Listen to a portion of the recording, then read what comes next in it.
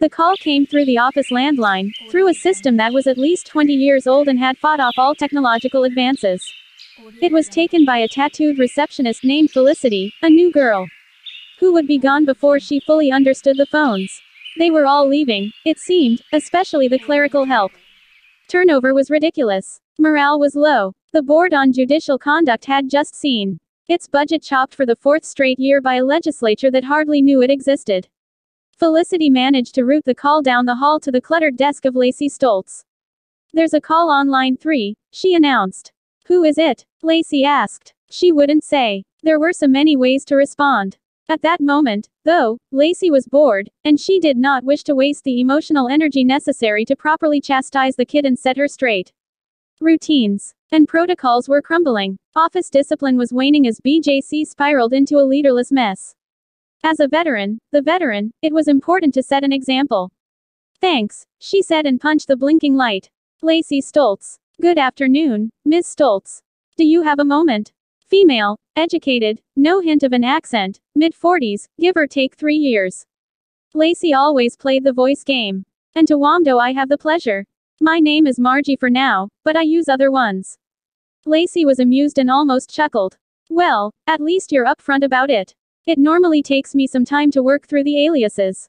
Anonymous callers were routine. People with gripes about judges were always cautious and hesitant to come forward and take on the system.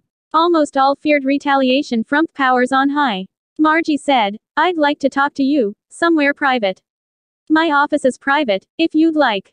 Oh no, she snapped, apparently frightened at the thought. That won't work. You know the Seiler building, next door. Of course, Lacey said as she stood and looked out her window at the Seiler building, one of several nondescript government addresses in downtown Tallahassee. Margie said, There's a coffee bar on the ground floor.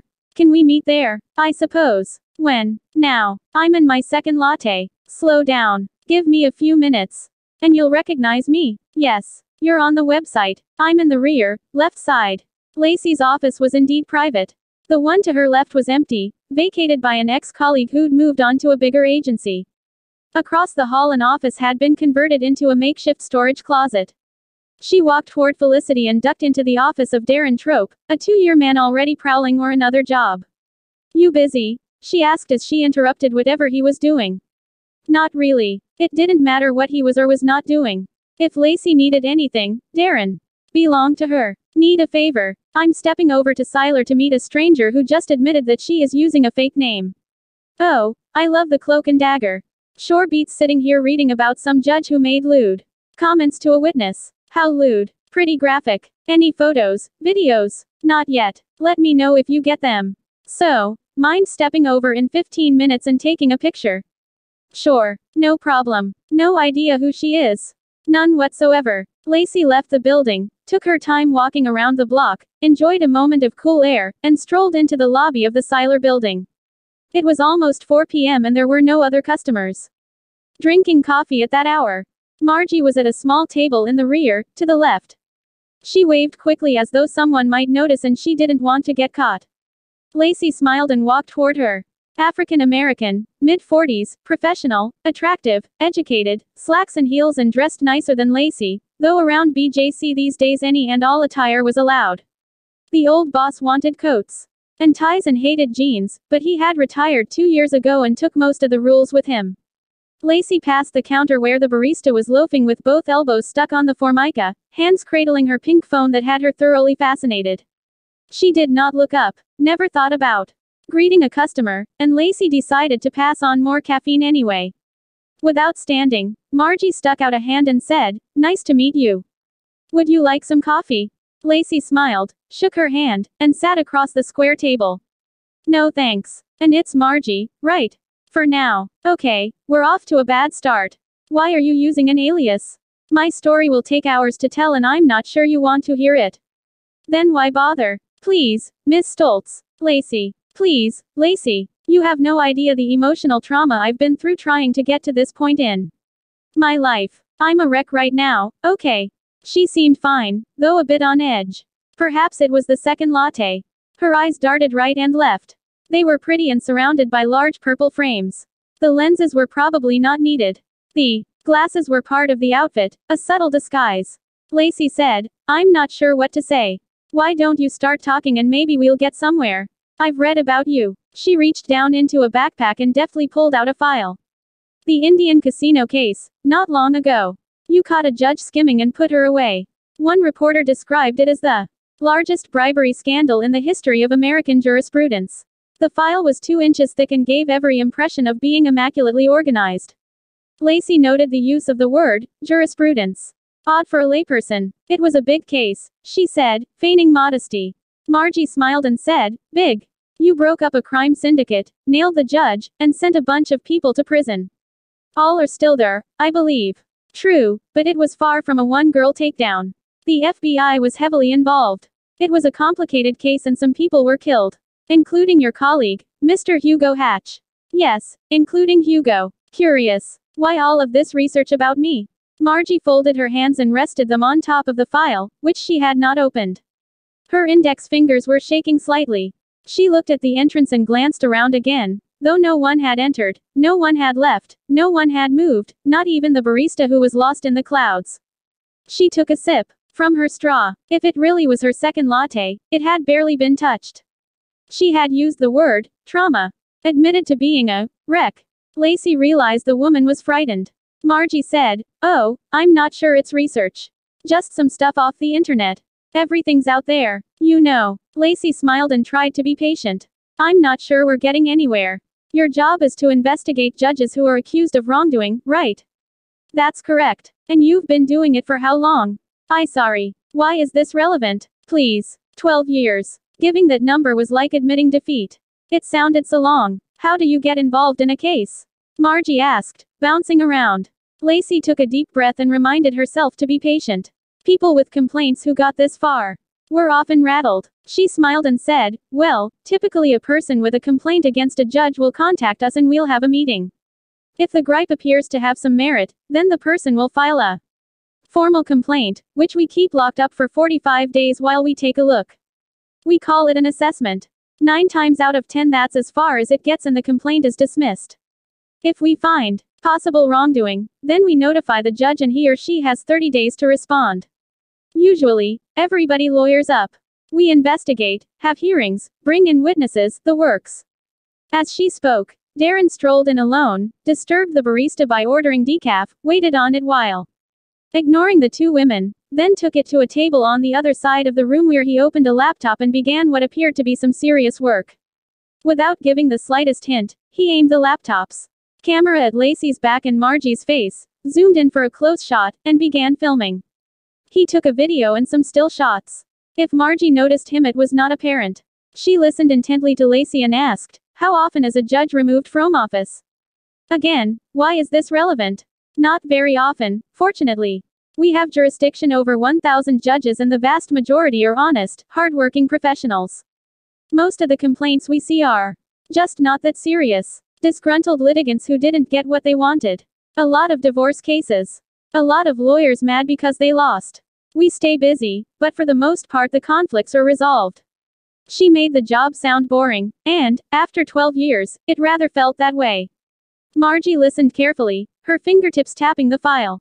She took a deep breath and asked, The person who files the complaint, is he or she always identified? Lacey thought for a second and said, Eventually, yes. It's quite rare for the complaining party to remain anonymous. Why? Because the complainant usually knows the facts of the case and needs to testify against the judge. It's hard to nail a judge when the people he ticked off are afraid to come forward. Are you afraid? The very word seemed to frighten her. Yes, you could say that, she admitted. Lacey frowned and appeared bored. Look, let's cut to the chase here.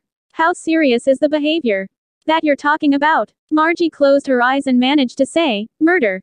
She immediately opened them and glanced around to see if anyone had overheard. There was no one close enough to hear anything except Lacey, who absorbed this with the hard-boiled skepticism she had developed after so many years on the job. She reminded herself again to be patient. When she looked at Margie's eyes again they were wet. Lacey leaned in a bit closer and softly asked, Are you suggesting that one of our sitting judges has committed a murder? Margie bit her lip and shook her head. I know he has. May I ask how you know this? My father was one of his victims. Lacey inhaled this and glanced around herself.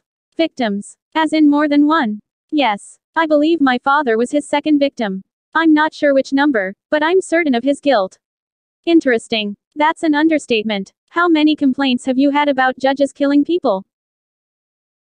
Well, none. Exactly. In the history of America, how many judges have been convicted of murder while on the bench? I've never heard of one. Exactly. Zero. So don't dismiss this as something interesting. Quote. Didn't mean to offend. Across the way, Darren finished his important business and left. Neither woman acknowledged his departure. Margie said, No offense taken. I'm not going any further in this coffee bar. I have a lot of information that I would like to share with you and no one else, but not here. Lacey had encountered her share of nuts and unbalanced souls with boxes and paper sacks filled with documents that clearly proved that some sleazeball up on the bench was thoroughly corrupt. Almost always, after a few minutes of face-to-face interaction, she could reach her verdict and began making plans to route the complaint to the dismissal drawer. Over the years she had learned to read people, though with many of the wackos that came her way a quick evaluation wasn't much of a challenge. Margie, or whoever, was neither a nut nor a wacko, nor an unbalanced soul. She was onto something and she was frightened. Lacey said, Okay, where do we go next? What is next? Look, you contacted me. Do you want to talk or not? I don't play games and I don't have time to pry information out of you or any other person who wants to complain about a judge. I waste a lot of time cajoling information out of people who call me in the first place. I go down a dead end trail once a month. Are you talking or not? Margie was crying again and wiping her cheeks. Lacey studied her with as much compassion as possible, but she was also willing to leave the table and never come back. However, she was intrigued by the idea of murder. Part of her daily grind around BJC was suffering through the mundane and frivolous gripes of unhappy people with small problems and little to lose. A murder by a sitting judge seemed too sensational to believe. Finally, Margie said, I have a room at the Ramada on East Gaines. We could meet there after hours. But you have to come alone. Lacey nodded as if she'd anticipated this. With precautions. We have a rule that prohibits me from conducting an initial meeting with a complaining party off premises and alone. I would have to bring another investigator, one of my colleagues. Like Mr. Trope over there? Margie asked, nodding at Darren's empty chair. Lacey slowly turned around to see what in the world she was talking about as she tried desperately to think of a response. Margie continued, It's your website, okay. Smiling faces of all staff. From her briefcase she removed an 8 times 10 color photo of herself and slid it across the table. Here, with best wishes, a current color mug of myself that's far better than the ones Mr. Trope just stole. What are you talking about?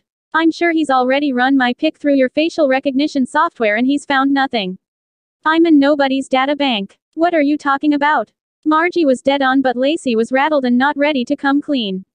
Oh, I think you know. You come alone or you'll never see me again. You're the most experienced investigator in your office and at this moment your boss is only a temp. You can probably do whatever you want. I wish it were that easy. Let's call it an after work drink, that's all. We'll meet in the bar and if it goes well we can go upstairs to my room and talk with even more privacy. I cannot go to your room. It's against our procedures. If a complaint is filed and it becomes necessary to meet in private, then I can do so. Someone has to know where I am, at least initially. Fair enough. What time? How about 6? I'll be in the back corner, right hand side, and I'll be alone, same as you. No wires, recorders, secret cameras, no colleagues pretending to drink as they film away. And say hello to Darren. Maybe one day I'll have the pleasure. Deal. Deal. Okay. You can go now. As Lacey walked around the block and drifted back to her office, she had to admit that she could not remember ever getting her butt so thoroughly kicked at the first interview. She slid the color photo across Darren's desk and said, Nice work. Busted big time. She knows our names, ranks, and serial numbers. She gave me this photo and said it was far better than the ones you were taking with your laptop. Darren held the photo and said, Well, she's right. Any idea who she is? Nope. I've run her face through our laundry and got nothing. Which, as you know, means little. Means she has not been arrested in Florida in the past six years. Can you punch it through the FBI? Probably not. They require a reason, and since I know nothing, I can't give them one. Can I ask an obvious question? Please do. BJC is an investigative agency, right?